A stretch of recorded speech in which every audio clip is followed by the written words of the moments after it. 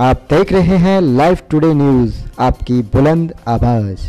PM Modi द्वारा देश में हो रहे अल्पसंख्यक समुदाय के उत्थान को लेकर की गई बातों पर अलीगढ़ मुस्लिम यूनिवर्सिटी के छात्र संघ अध्यक्ष ने तीखी प्रक्रिया दी है। उन्होंने कहा कि पिछले पाँच सालों में सिर्फ़ गलतियाँ जो मोदी सरकार ने की हैं, उन्हें सुधारने का काम उन्हें करना चाहिए। जिस प्रकार से लिंचिंग सिद्ध समुदाय विशेष के लोगों को निशाना बनाया गया, शिक्षण संस्थानों को निशाना बनाया गया, इस प्रकार कैसे अल्पसंख्यक समुदाय का उत्थान हो पाएगा? उन्होंने कहा की हमारा देश एक धर्मनिरपेक्ष मुल्क है। अगर अल्पसंख्यकों को पीएम मोदी नजरअंदाज करेंगे तो ये मुल्क कभी भी सुपर पावर नहीं बन पाएगा। वहीं अलीगढ़ मुस्लिम यूनिवर्सिटी धर्मशास्त्र विभाग के असिस्टेंट प्रोफेसर ने पीएम मोदी को प्रचंड बहुमत मिलने पर बधाई दी। उन्होंने कहा कि जो बहुमत भाजपा को मिला है काबिल मुबारकबाद है। जिस प्रकार पीएम मोदी ने सबका साथ, सबका विकास व सबका विश्वास के तहत अल्पसंख्यक समुदाय को साथ लेकर आगे बढ़ने की बात कही है, वह निश्चित ही यह साबित करने की कोशिश कर रहे हैं की उनकी आगामी सरकार अब सबके साथ, सबके विकास व सबके विश्वास पर चलेगी। इसीलिए उन्होंने सांसदों को भी सभी के साथ समान व्यवहार करने की बात कही है। मुस्लिम स्कॉलर व एएमयू के पूर्व चेयरमैन धर्मशास्त्र विभाग ने कहा की पीएम मोदी ने अल्पसंख्यक वर्ग के लोगों के लिए जो बातें कही हैं वो बात बहुत उम्दा है। पीएम मोदी ने इस बार सबका साथ व सबका विकास एक साथ नई चीज़ जोड़ी है। वह हम सबका विश्वास भी जीतेंगे। उन्होंने कहा कि हम अल्पसंख्यक समुदाय के लोगों सबसे ज़्यादा विश्वास जीतेंगे, जिसकी हम तारीफ़ करते हैं सभी लोगों को पीएम मोदी के कदम की सराहना करने के साथ ही उनके बयान का स्वागत करना चाहिए। देश के हर पीएम को इसी प्रकार से सोचना व समझना चाहिए। जो बड़बोले लोग हैं, उन पर पीएम मोदी लगाम लगाते हैं तो ये हमारे मुल्क के लिए अच्छी और बेहतरी, खुशहाली की बात होगी।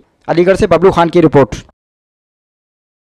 दरअसल पहले तो मेरा मोदी से खुद ये सवाल है कि 542 सीटों पे नरेंद्र मोदी जी ने और भाजपा ने चुनाव लड़ा। और जो हिंदुस्तान की सबसे बड़ी माइनॉरिटी है, मुस्लिम, उनको आपने कितने टिकट दी कोई टिकट नहीं। क्या आपको ऐसा लगता है कि हिंदुस्तान के मुसलमान जो कि माइनॉरिटीज़ से हैं, वो सियासी शूर नहीं रखते?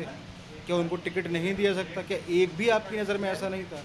और आप माइनॉरिटीज़ को बचाने की बात करते हैं मौलाना आज़ाद नेशनल फ़ेलोशिप आपने बंद कर दी, जो कि मुसलमानों के बच्चों को मिलती थी, वो पढ़ते थे उससे।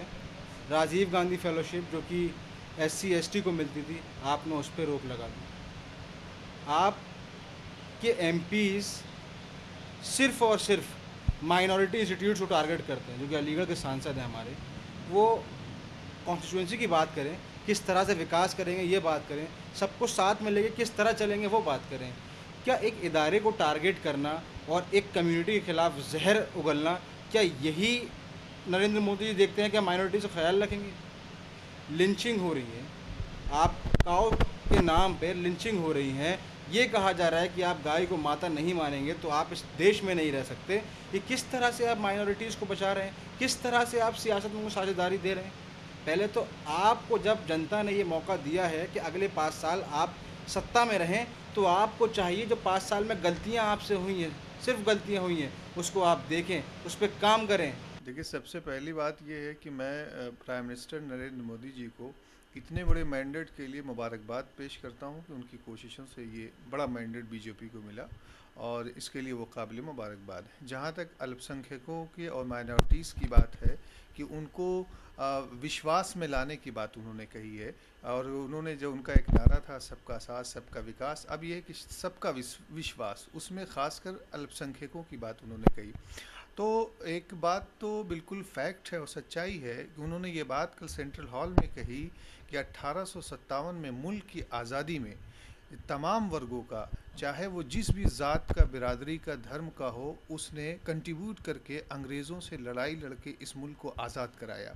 और आज हम पचहत्तर साल आज़ादी के पहले पायदान पे हम पचहत्तर साल पूरे होने वाले हैं। ऐसे में किसी एक वर्ग का अगर पिछड़ापन रहेगा तो हम यकीनन एक सवालिया निशान होगा। मैं समझता हूँ कि ये बहुत ही अच्छा कदम है और इसकी तारीफ़ की जानी चाहिए। और ये खुशी की बात है कि हमारे मुल्क के वज़ी अजम ने इलेक्शन जीतने के बाद ये एक उम्दा और प्यारा ऐलान किया और जो हम सब सोचते थे कि सबको लेकर जो साथ चलने की बात है, उन्होंने उसमें सबका साथ, सब, सबका विकास के साथ साथ उन्होंने एक नई चीज़ को जोड़ा कि सबका हम विश्वास जीतेंगे